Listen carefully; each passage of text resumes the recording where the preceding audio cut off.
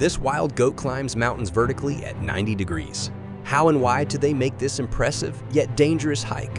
The alpine ibex is a species of mountain goat that lives at an elevation of 3,200 meters. To put that in perspective, the world's tallest skyscraper, Burj Khalifa, is only 829.8 meters high.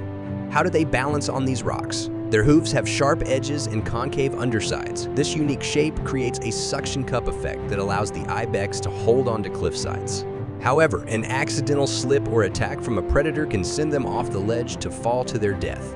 So why take the risk? Oddly, the reason is salt. They need to get to the top of the mountain to lick the stone slabs for sodium. Grass cannot provide all the nutrients. So